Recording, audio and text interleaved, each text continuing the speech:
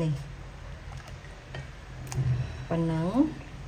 ហើយយើងថែមជីនេះបន្តិចមកបងប្អូនណាចាហើយនេះគឺម្ទេស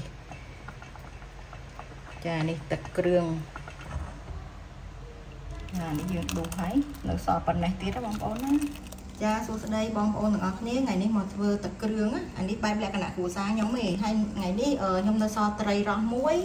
ហើយនឹងម្លក់គឺថាខ្ញុំមានតាអឺ ត្រយងជេកឯងបងប្អូនព្រោះអីថ្ងៃនេះអត់បានទៅសារដោយសារភ្លៀងខ្លាំងណាដល់ចឹងទៅអានេះយើង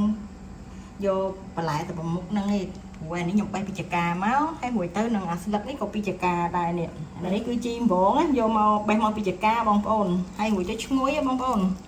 ដាក់តែបន្តិចឈ្ងុយមែនតែនអានោះយើងដាំខ្លួនឯងបងប្អូនណាអានេះក៏ម្ទេសនេះអានេះម្ទេសធម្មជាតិដែរនេះដាំខ្លួនឯងដែរបងប្អូននេះទូទូយឯងប៉ុន្តែហឹល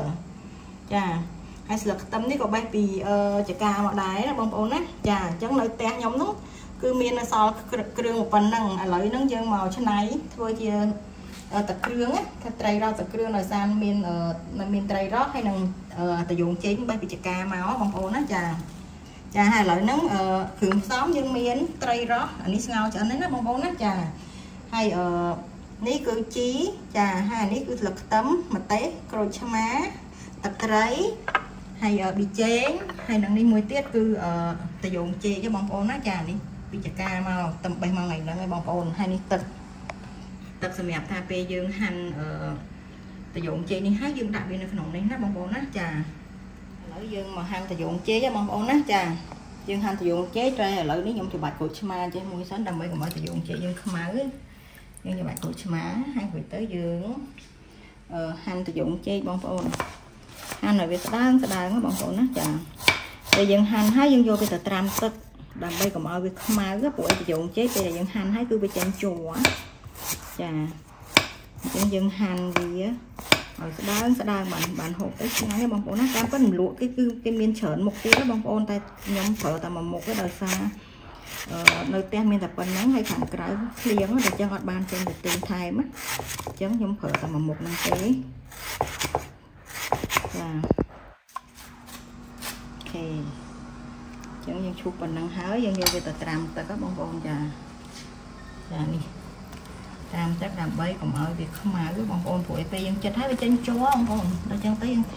ត្រាំវាអញ្ចឹងទៅគឺអឺវាអត់ខ្មៅទេបងប្អូនវាសចាយើងត្រាំទឹកហ្នឹងជាមួយយើងមិនច្បាច់គោឆ្មាបន្តិចទេបងប្អូនណាចាយើងយើងត្រាំវាទុកទៅ បងប្អូនឥឡូវយើងមកបេះត្រីម្ដងបងប្អូនណាចានេះត្រីយើងស្ងោរឆ្អិនហើយ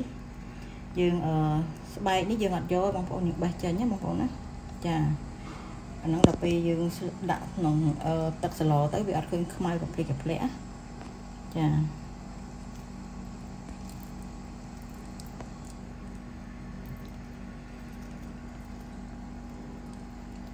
យីយើងបេះប្រយ័ត្នពួកអីឆ្អឹងច្រើនណានៅកន្លែង ខាងក្រោមនេះគឺឆ្អឹងច្រើនមែនតើបងប្អូនចឹងយើងបេះប្រយ័ត្នបន្តិច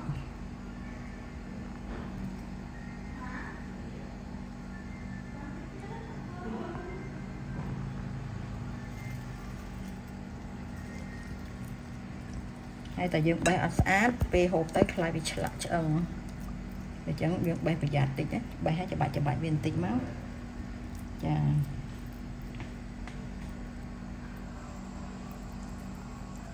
គូឆ្អឹងនៅកន្លែងឆ្អឹងនេះខាងក្រោមនេះច្រើនណាបងប្អូនណាចាចានេះបងប្អូនណាយើងបេះត្រីចេះចា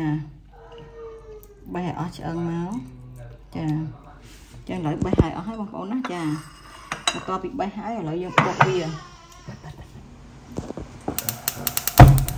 ចាបងប្អូនឥឡូវមុននឹងយើងមកបុកត្រីយើងបើកភ្លើងសិនណាបងប្អូនណាកុំឲ្យខាតពេក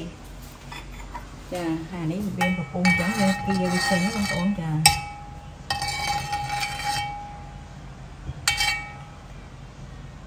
អានេះយើងស្ងោរត្រីមិញវាមានពពុះចាឥឡូវយើងបើកភ្លើងដាក់ទឹកឆ្នាំងដាំហើយឥឡូវយើងមកបុកត្រីម្ដងបងប្អូនណាចាបុកវាអញ្ចឹងទៅវាបែកតសៃល្អបងប្អូនណាបើយើងដាក់ទាំងដុំទាំងដុំឬក៏គ្រាន់តែច្បាច់វាវាអត់បែកតសៃល្អឯត្រីហ្នឹងណា ចាឥឡូវយើងដាក់មកយើងបុកវាតែយើងមិនបុកខ្លាំងខ្លាំងទេយើងបុកមុំមុំបានបងប្អូនបើឲ្យសាច់នឹងវាបែកអញ្ចឹងណាបងប្អូនចាបុកតិចតិចតិចតិចចឹងបងប្អូនគាត់ឲ្យវាបែកសាច់ស្មើគ្នាទៅចាបាច់បុកខ្លាំងខ្លាំងទេគាត់ញុំញុំញុំញុំវាប៉ុណ្ណឹងបងប្អូនណាចាឲ្យវាបែកសាច់ហើយអាហ្នឹងយើងដួសឡើងបងប្អូន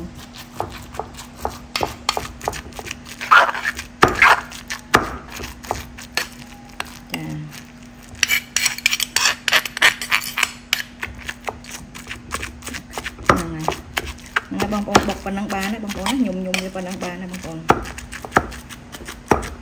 ចាបងប្អូន ឥឡូវបានហើយណាបុកប៉ុណ្ណឹងហើយហើយឥឡូវយើងដួសវាដាក់ចានណាបងប្អូនណាចាដួសត្រីយើងដាក់ចានវិញញ៉ាំបុកចឹងឲ្យបែកសាច់តែប៉ុណ្ណឹងទៅបានណាបងប្អូនបើសិនជាយើងអត់បុកវាទេវាអត់ស្អាតឆ្ងាញ់វាអត់ដល់តែសៃត្រីល្អបងប្អូនណាចាខេអញ្ចឹងប៉ុណ្ណឹងសិនហើយយើងមកមើលទឹករបស់យើងបងប្អូនណាចាមើលទឹករបស់យើង ចាឥឡូវទឹករបស់យើងហ្នឹងគឺចាប់ផ្ដើមពុះហើយបងប្អូនចាហើយឥឡូវវាមានពពុះយើងគៀពពុះចេញសិនណាបងប្អូនណាចា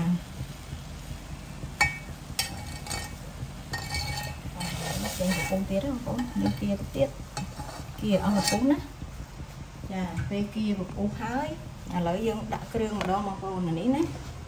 ចាទឹកត្រីឯងបងប្អូនចាយើងដាក់ប៉ុណ្ណេះសិន ចាហើយរួចហើយយើងដាក់ប៊ីចេងអ្នកខ្លះគាត់ប្រើប្រហុកហ៎បងប្អូនតែតែខ្ញុំអត់ប្រើប្រហុកទេខ្ញុំអត់ចូលចិត្តប្រហុកហ៎អញ្ចឹងទៅយើងមិនបាច់ខ្ញុំអត់ដាក់ប្រហុកទេហើយរួចទៅពេលស្ងោរហ្នឹងបើសិនជាថាយើងមានចក្រីយើងដំវាបន្តិចដាក់ស្ងោរអញ្ចឹងទៅដើម្បីឲ្យវាមានក្លិនឈ្ងុយក្លិនចក្រីណាតែខ្ញុំអត់មានដល់អញ្ចឹងទៅគឺខ្ញុំស្ងោរតែប៉ុណ្្នឹងឯងបងប្អូនឥឡូវហ្នឹងគឺអឺ យើងដាក់គ្រឿងហើយឥឡូវយើងបង់ត្រីចូលបងប្អូនចាអានេះបង់ត្រីចូលហើយចាដល់មានឆ្អឹងយកឆ្អឹងចេញសិនបងប្អូនចាអានេះយើងចាក់វាចូលអញ្ចឹងបងប្អូនណាចា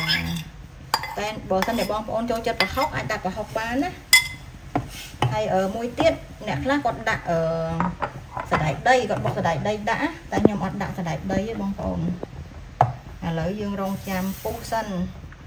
រងចាំពុះហើយចាំយើងគៀបពុះចោលម្ដងទៀតហើយយើងភ្លុកមើលថាតើល្មមអត់ទេបងប្អូនបើសិនជាល្មមគឺយើងយកប៉ុណ្ណឹង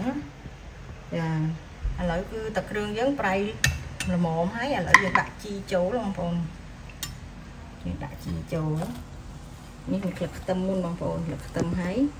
បងជីចូលបងប្អូនចាបងជីឲ្យវាឈ្ងុយ នេះ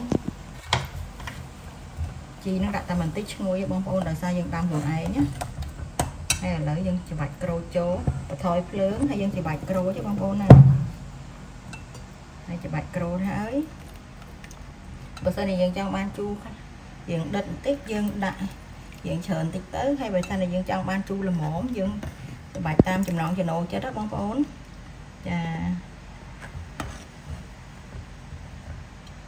ឡូវភ្លក់តិចមើលល្មមអត់